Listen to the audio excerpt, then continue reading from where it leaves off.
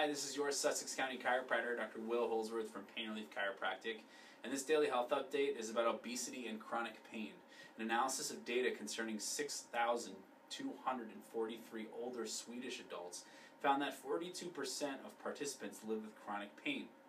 The data also show that participants with a body mass index over 30 were more likely to have chronic pain, as were those with a history of trauma, rheumatic disease, anxiety, or depression.